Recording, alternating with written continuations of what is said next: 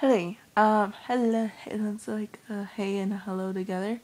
Um, my brother just informed me that my mom is watching my videos.